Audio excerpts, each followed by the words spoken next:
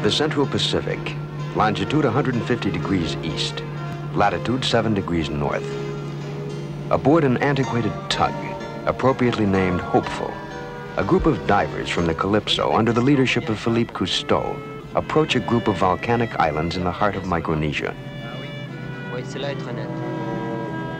Within the islands is their destination, a 40-mile wide natural harbor, once one of the finest anchorages in the world, despoiled now by remnants of war. Truk Lagoon.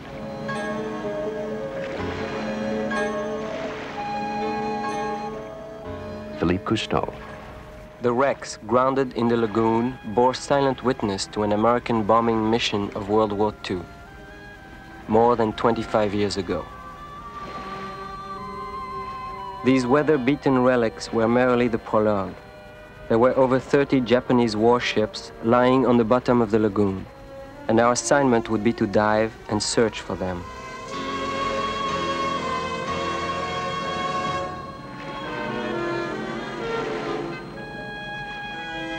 For the children of Truk, the remnants of war have become a natural part of the environment.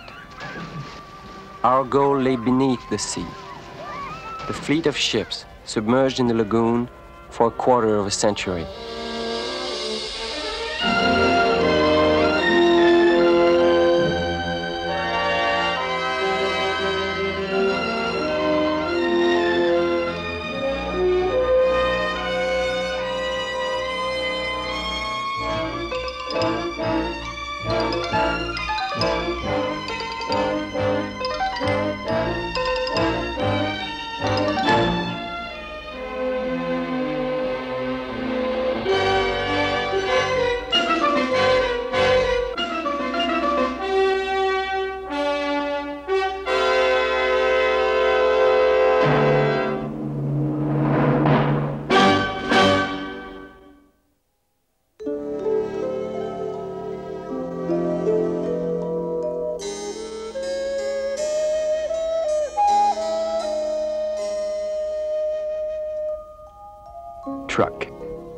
Tropical atoll on the eastern tip of the Caroline Islands. Its lagoon a burial ground for a vast fleet of ships.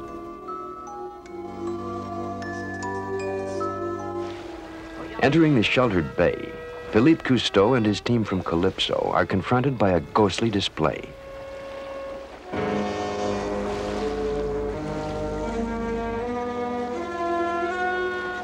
Oxidized mementos of war, now symbols of waste. Tragic testimony that a battle was fought here. The rusted residue of Truk's violent past.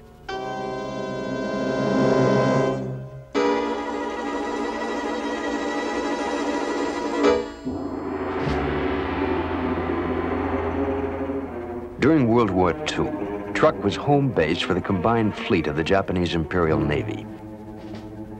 From the beginning of the war, its buildup was fast and efficient.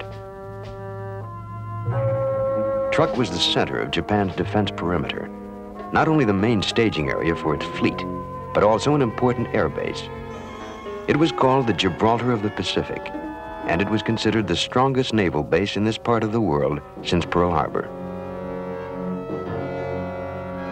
Most of the fortifications were built for defense against a landing from the sea, but the Allied decision was to neutralize Truk by a concentrated air attack. On the morning of February 16, 1944, the first strike. 70 American fighter planes. Initial objective, the airfields.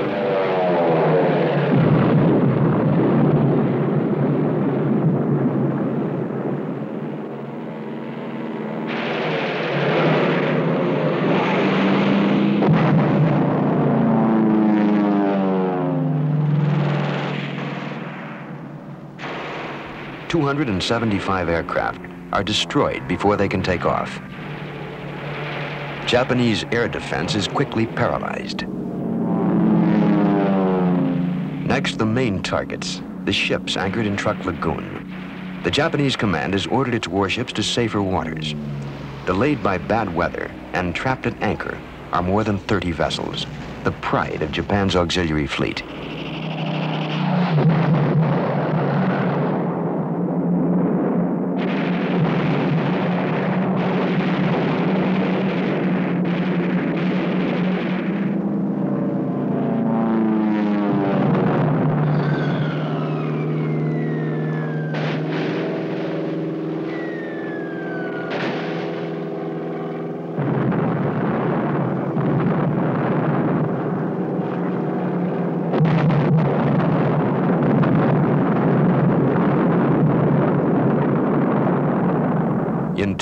the lagoon is transformed from a naval fortress to a ship's graveyard.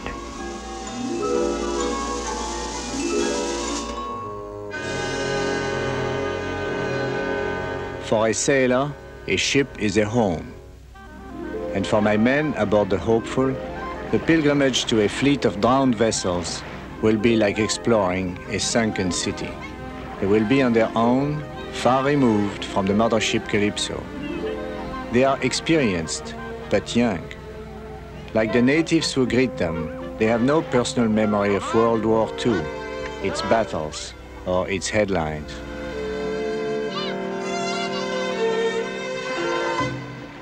Attendez Armand, c'est sur l'épaule droite.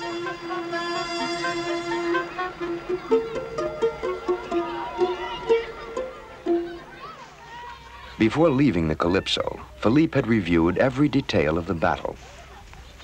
Now, prior to diving, he and his crew look for what is left of the Japanese fortifications.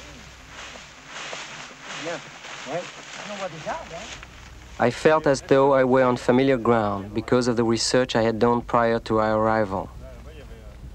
I found that I was able to identify every feature of the terrain. It was as if I had been a fighter pilot during the Truk raid, although I was only three years old at the time. Dublon, Eten, Human et le récif extérieur. Tout le long. 40 000. Il est sorti. Ah, un. En face de l'air. Our men have a hard time making their way through the thick tropical growth. Elsewhere, jungles have erased remains of entire civilizations.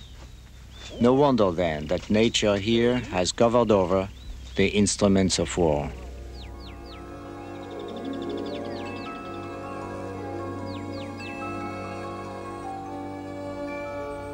Bomb craters have been transformed into breeding pools.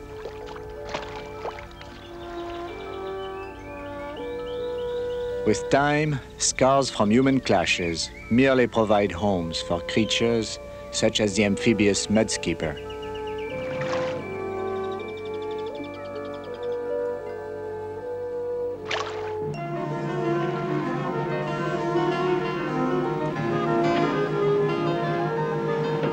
Mast of a sunken Japanese ship stands like a beacon, beckoning Cousteau's divers to their first sample of Truk's hidden cargo.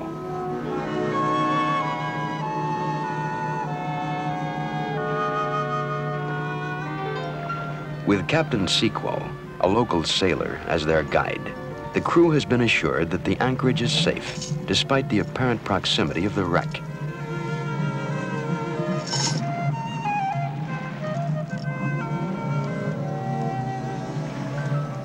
The sunken ship is clearly visible just below the Hopeful's bow.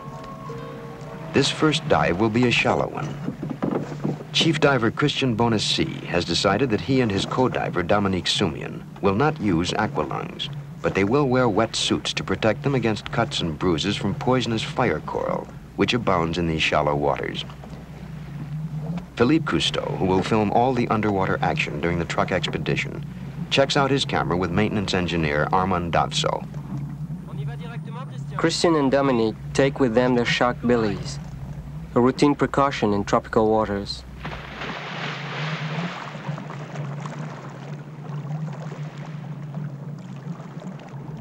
We'd been told by the natives the wreckage was that of a small harbor boat. But as was often the case, the Trukese knew little about the sunken ships.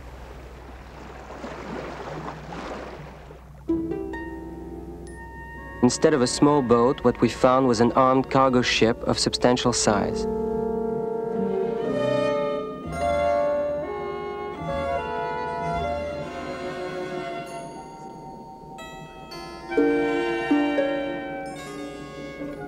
The ship is broken in two, evidence of a direct hit.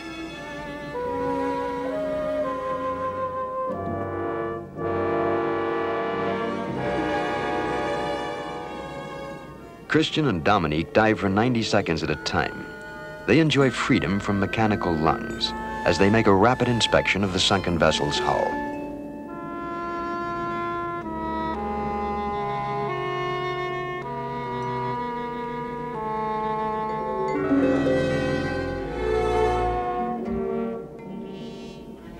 On deck is heavy gear for handling freight, but there is no evidence of cargo on board. This ship must have unloaded and been preparing to return to Japan when it was struck.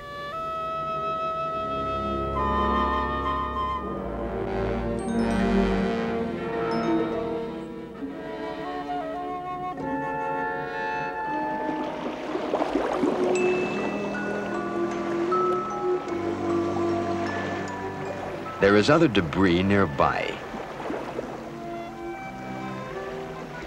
They have been informed by Captain Sequel that in this area of the lagoon, a downed aircraft may be found.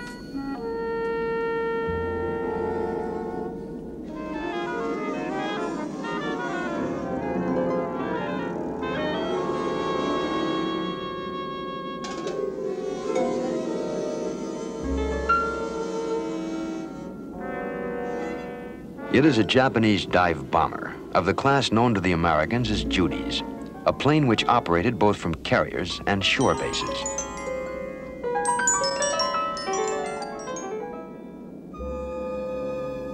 This bullet-riddled plane, shot down not far from the airstrip, was one of the few not caught on the ground.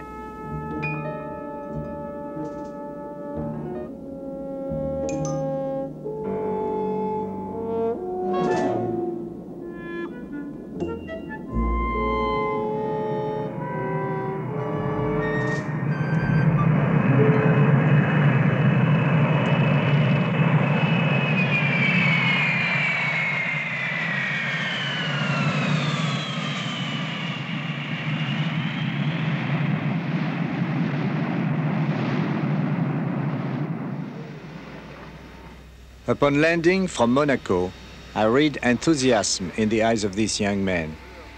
The same enthusiasm I felt 30 years ago when I made my first dive to a sunken ship. For us who dive, shipwrecks are adventure, mystery, human emotion. All the wrecks I had visited over the years were lonely victims. But here, in Truk Lagoon, was an entire fleet of wrecks with a story behind them. I was impatient to dive and see them for myself. Preparations for the first series of deep dives in Truk Lagoon are underway.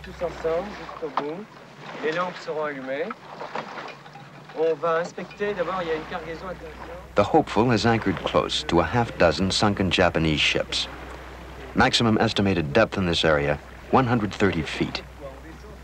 Captain Cousteau has called for a full-scale diving operation utilizing all the men and equipment at their disposal. Careful exploration of wrecks may well uncover previously unknown details of the historic Truk raid. As I prepare to dive, the consequences of the Truk raid monopolize my thoughts. I feel that the history of man is closely related to natural history. In all his deeds, man is responsible to nature and acts of war have consequences on nature. Now I will observe the effects on this lagoon of the largest concentration of sunken warships there has ever been.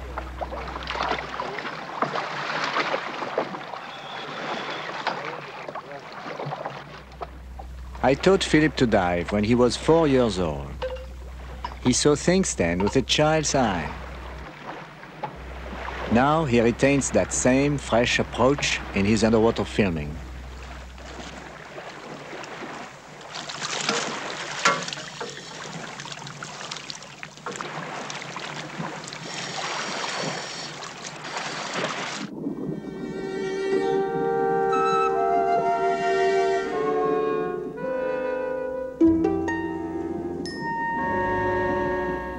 To film shipwrecks, we need electrical cables for the lights.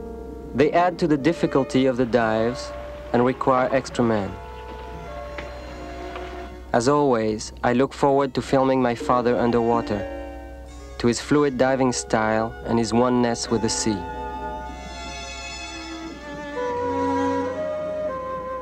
Moving over the starboard flank of a capsized ship, I search for a nameplate.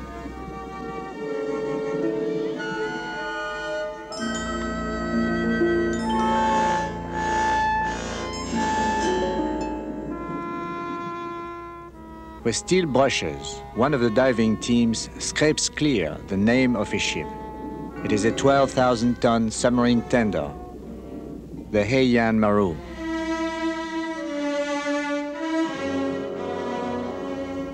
In two months' time, we will explore the wreckages of eight armed vessels, three tankers, and 19 merchant Marus, three quarters of the sunken fleet.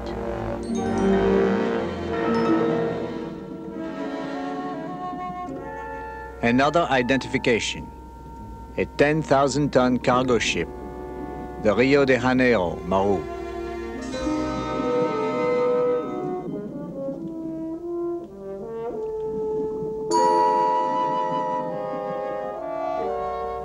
I am struck by a contrast. In the dry world above, fragmented structures loom in rusted ugliness. But here, beneath the surface of the lagoon, the skeletal remains are fleshed out with new life. They blossom with myriads of creatures, like this gracious Antedon, a sea lily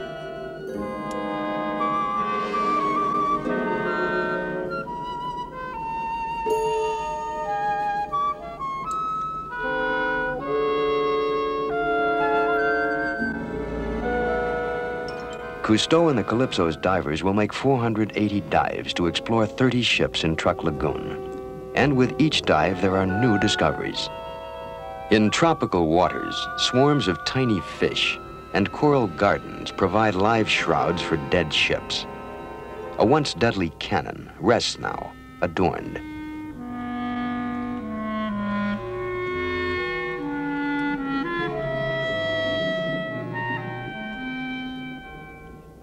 Cousteau swims to the top of a ship's funnel, thickly encrusted with coral growth.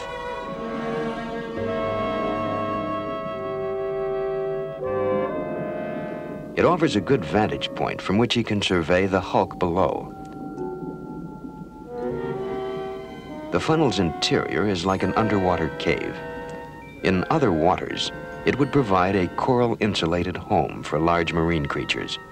But here in the lagoon, the house has no tenants. Never before have I seen shipwrecks void of large fish. Where are the groupers, the moray eels, the lobsters? If there were such fish in the lagoon, these vessels would be their logical habitat. Cousteau keeps moving with an extreme economy of gesture, anxious to take maximum advantage of his single tankful of air. On the deck of a sunken cargo ship, a piece of land artillery with its rubber tires showing little sign of decay.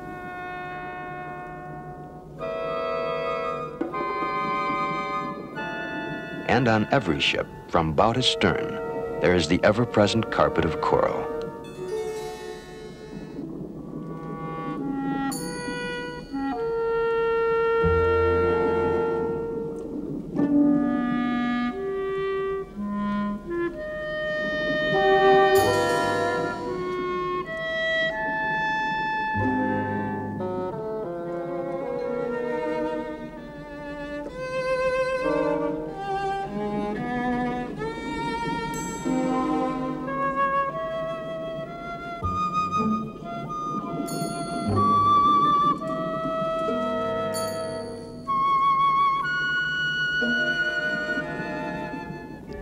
Does not grow on mud or sand. It needs a hard support, which the wrecks provide. Every rigging is a display of miniature marine life.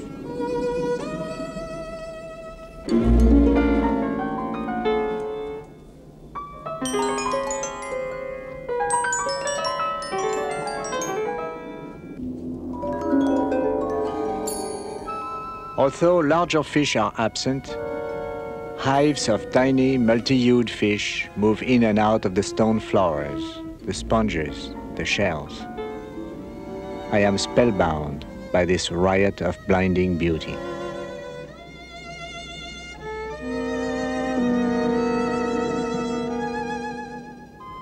To move freely, effortlessly, in any direction is a luxury only the diver knows. A gentle sigh is energy enough to slip through the jagged framework.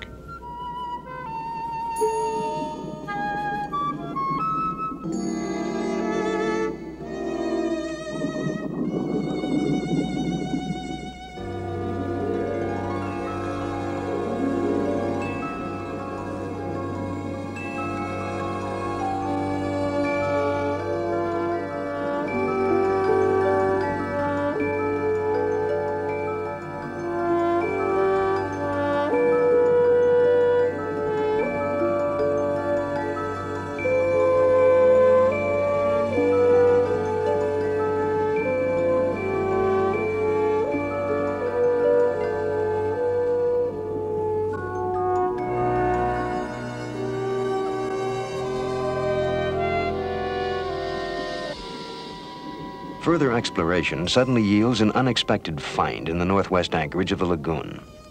At a depth of 150 feet, a group of Japanese ships with cargo still on board.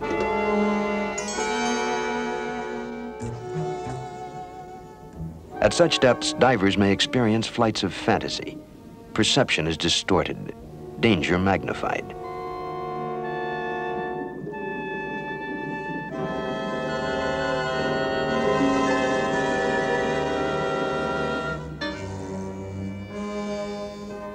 An operating table, underwater for 25 years. A fully equipped medical dispensary, preserved. Wheelchairs still carefully stacked.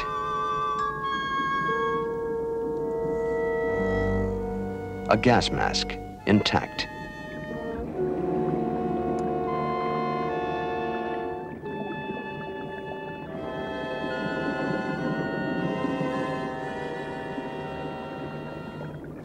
I am instinctively cautious.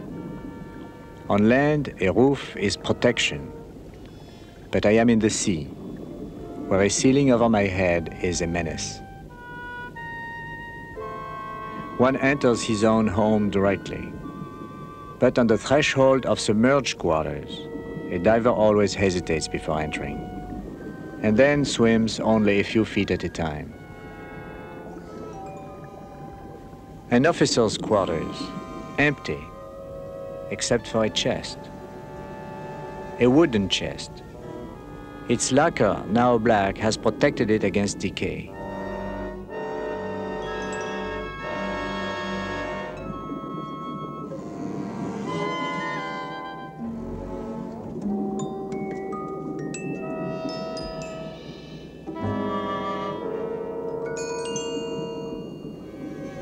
There is no sunken treasure here.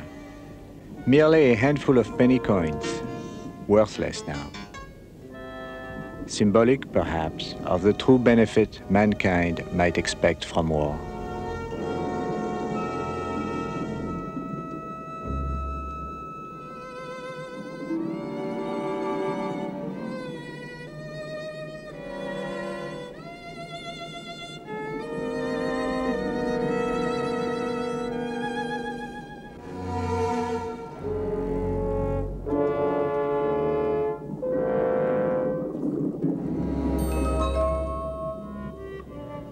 Truckloads of food and drink. After the attack, the Japanese garrison and the people of Truk starved, while tons of food were lying on the bottom of the lagoon.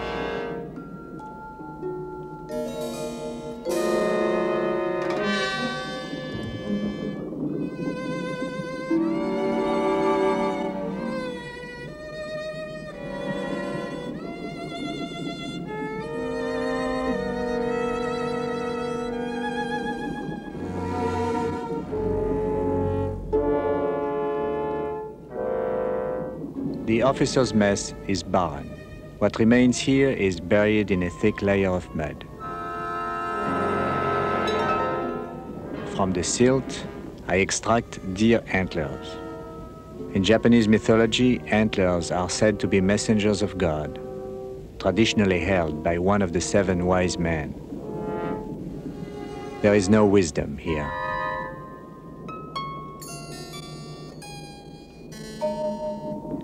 In a ship's galley, steel walls were torn apart, but fragile dishes have somehow survived the explosions which rocked this vessel.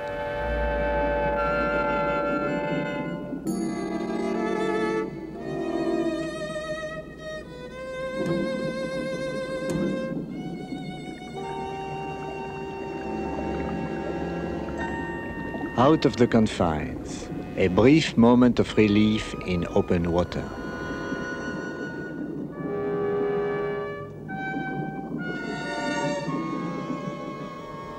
Instinctively, I check the door to make sure it won't close behind us.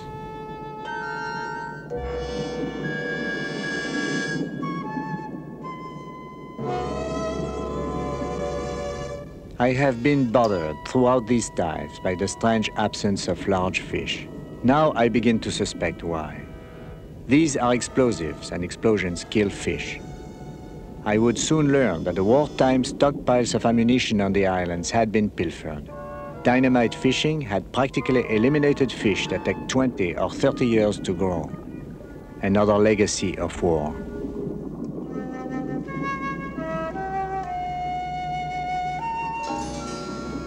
A passageway invites me to an underwater promenade. My thoughts are with the man who once walked this deck and leaned against this railing. Like all sailors on the high seas, they must have felt close to nature and at her mercy, as I feel. They are no longer alive to tell their story. I feel now compelled to investigate further their fate. We would dive in the lagoon, deeper than we had dared before.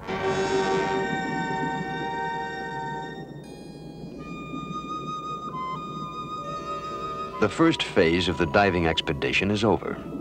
Nearly all the sunken ships and various anchorages of Truk Lagoon have been visited and thoroughly inspected. The explorations so far have supported the theory that Truk was poorly prepared to resist attack. The Gibraltar of the Pacific was a myth. Now, with artifacts for study, Cousteau and the divers make their ascent.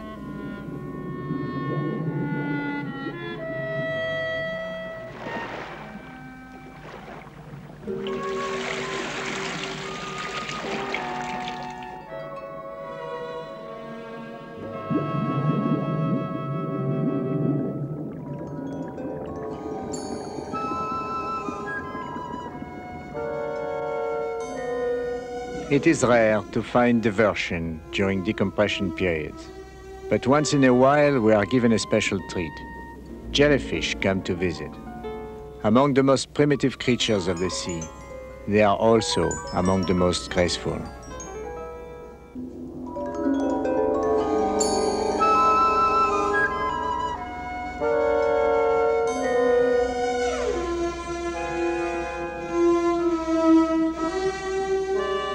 Divers hover close to the contingency tank, an emergency supply in case of air shortage.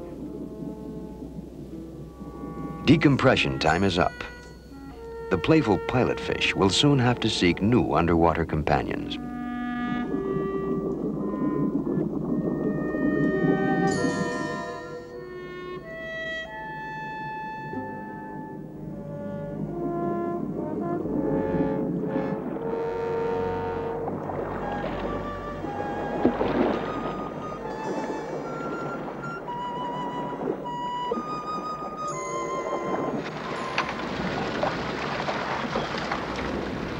The hopeful is small. It is not very glamorous, but it is floating and it is alive.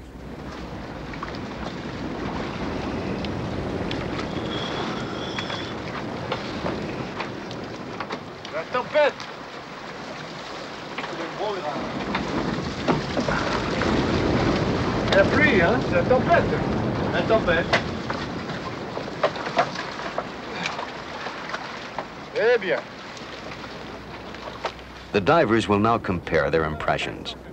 It has become clear that the two-day tragedy of Truk has had far-reaching consequences.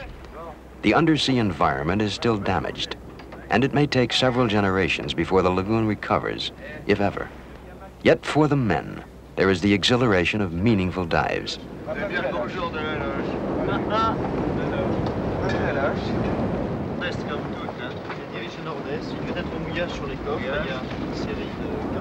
Now Cousteau plans their most crucial dive. A dive which will involve a detailed and thorough search for a lost ship. The larger Japanese ships were always anchored in the southeast, off the island of Eten.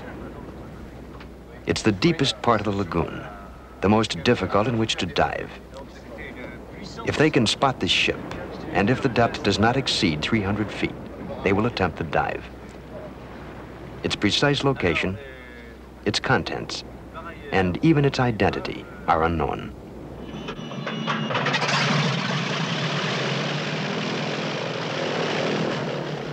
An aerial survey is undertaken to evaluate diving conditions off Eten anchorage. The crew will also look for oil slicks and other visual clues which might expose the position of the target vessel.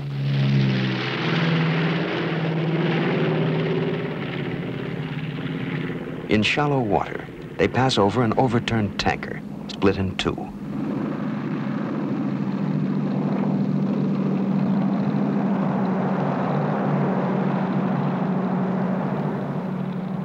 The southeastern anchorage is void of any evidence of the wreckage, said to be at its bottom.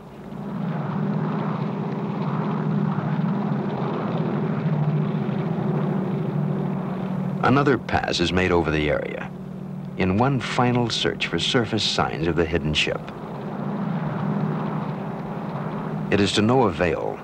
Electronic methods will have to be employed. The simple tugboat Hopeful is now transformed into a research vessel. Fanamu, qu'est-ce qui pourrait nous intéresser Fais fan après. On a 15 brasses. Ok. Maintenant, tu prends le sommet euh, Dublon.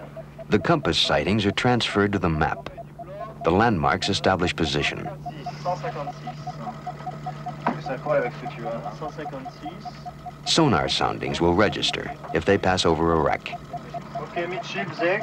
On a le même petit écho là, Ah. le même que celui-ci. Euh, nous repassons sur le profil euh, de tout à l'heure. J'ai bien l'impression que c'est l'épave. Oui. Le fond monte encore. 200, Zek. 20 brasses maintenant. The sonar scope registers a large object lying ahead on the floor of the lagoon, within 200 yards of the Hopeful. On a 22 brasses. On va faire un point, on doit t'approcher des pas maintenant. Zig, you go 180. 180. They chart the course that will bring them directly above the wreck. On a eu 17 brasses. They've found it. Depth close to 300 feet. A deep dive, but within acceptable range. A marker is dropped. According to sonar, the object below is a large mass of varying heights.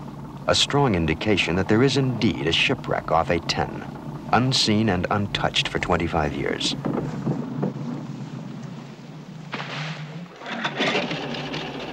Now air is pumped into the larger deep dive tanks. This raises their temperature and causes air expansion. The tanks must be cooled so they can be filled to capacity for a dive to exceed 250 feet.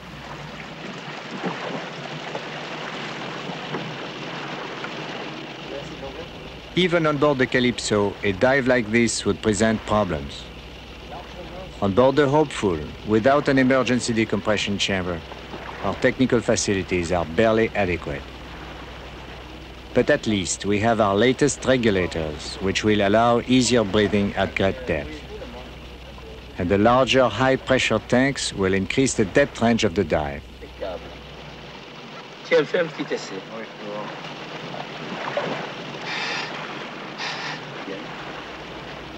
The atmosphere is tense. Words are few. Each man knows very well there is no margin for error.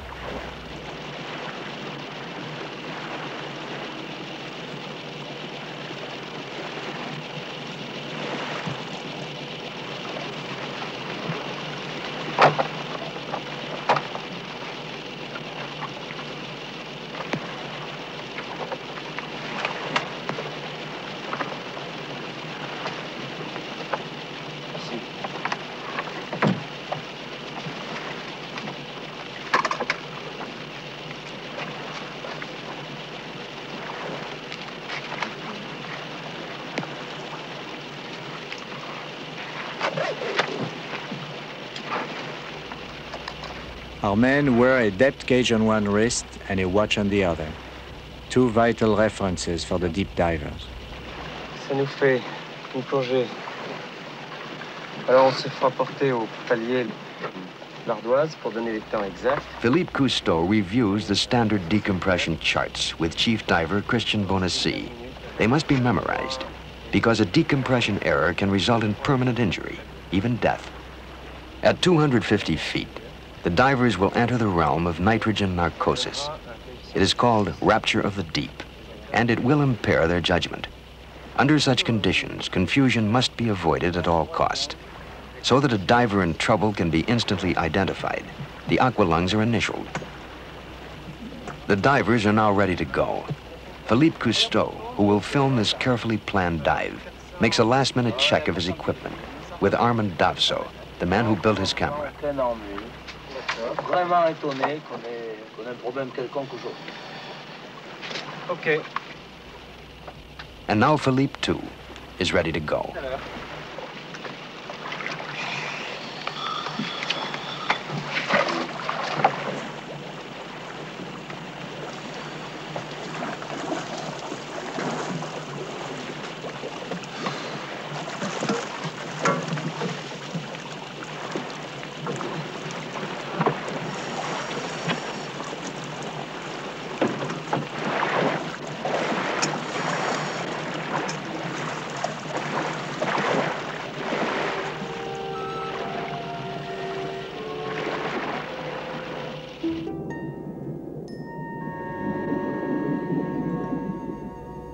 3,000 years before Christ. Gilgamesh, the king and hero of Sumer, dove beneath the sea in search of an herb that gave eternal life. He was the first to be obsessed by the unknown. He would not be the last.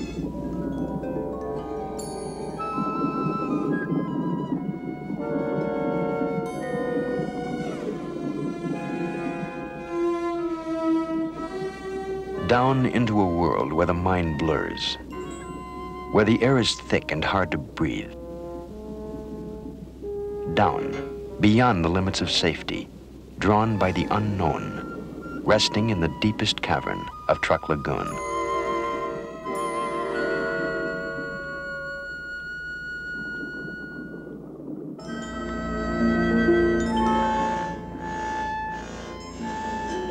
Depth 215 feet. The Cousteau divers continue their descent toward a lost ship in the deepest waters of Truk Lagoon. As they go deeper, light diminishes. The water is hazy and visibility is poor. They swim down toward the yet unseen object.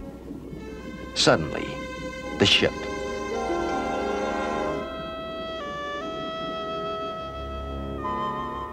Anti-aircraft guns, aimed up toward the sky, testify to sailors who continued to fight while the ship was sinking. I empty my lungs to sink further. I feel at ease, suddenly lightheaded. I know this is the first sign of nitrogen narcosis. Amidship, Christian finds an entry.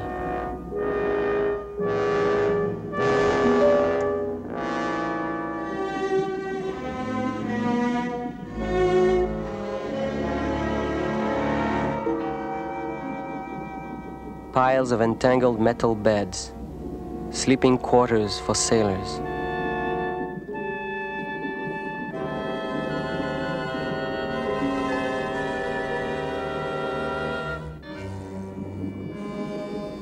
Depth 280 feet. Another opening. A watertight compartment crushed by outside pressure. There could have been no survivors. Christian takes the lamp. Dominique will remain here to clear the cable and keep watch.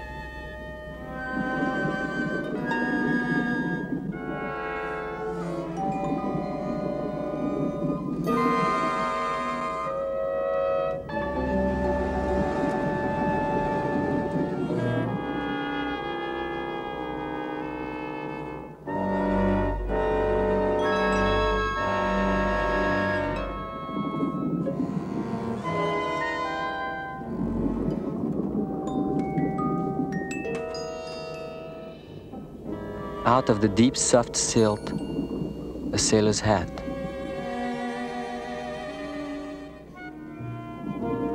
I feel blinded, disoriented. Christian's lamp is barely visible. Nervously, I move close to the glow. The lamp's cable is my only link to the exit.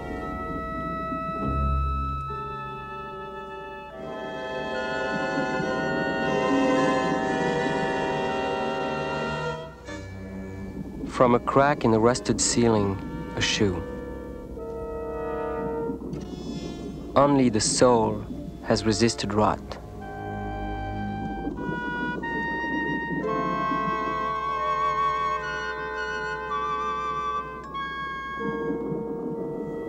A still folded blanket, intact after 25 years. It's impossible.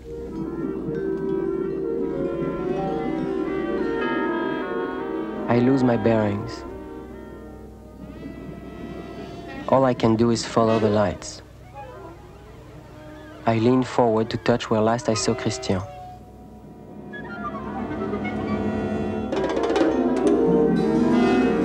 I keep the camera rolling. And suddenly, a vision of hell.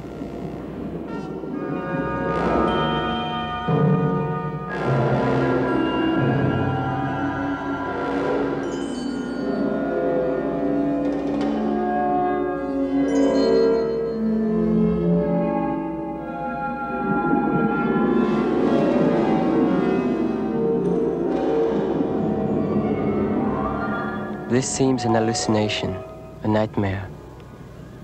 But Christian is real.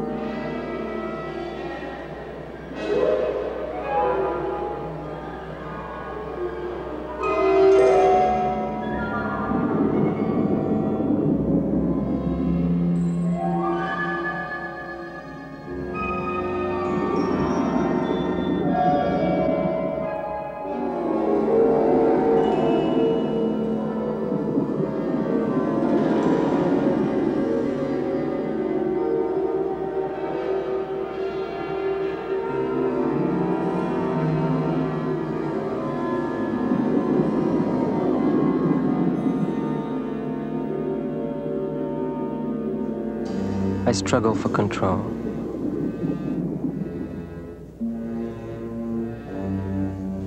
I feel something fall at my feet. And then, as if a hand had reached out to stop my retreat, I am held back. I fight it off. Christian looks at me now, sensing my anguish. He too is shaken, and he points, indicating the exit.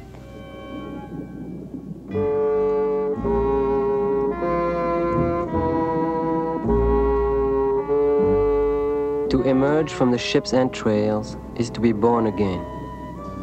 As we swim up toward the hopeful, I feel I am stealing away with my most precious treasure, life.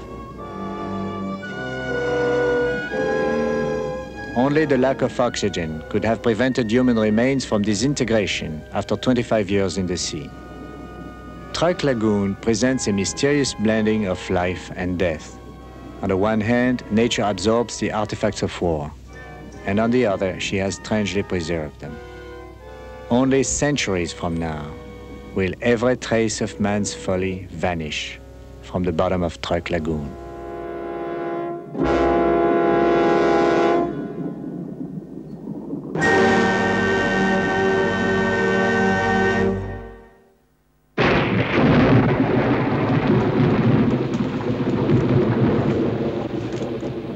Months after their arrival, the Truk expedition team departs.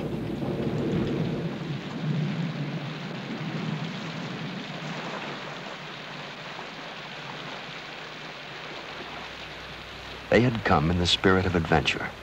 Now, as they leave on their last voyage in the lagoon, they carry with them the rueful memory of what they have found.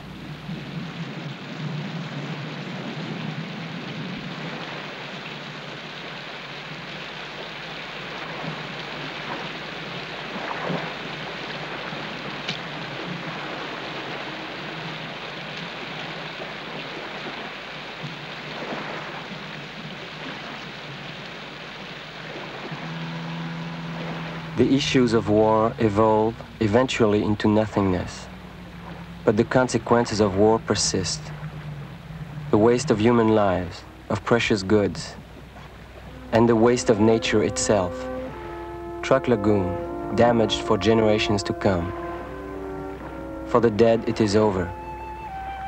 It is for the living to carry the burden.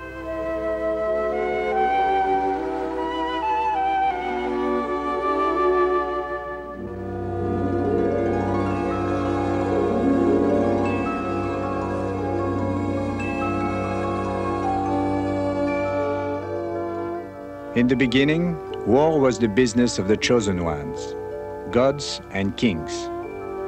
The common man helplessly endured it like a plague. For millennia, war has had the inevitability of Greek tragedy. But today, individual men are concerned not merely with the consequences of war, but with the choices that lead to war or peace. And with this new awareness comes hope. As the prophetic poet John Donne wrote in 1623, Every man is a piece of the continent, a part of the main. Any man's death diminishes me because I am involved in mankind.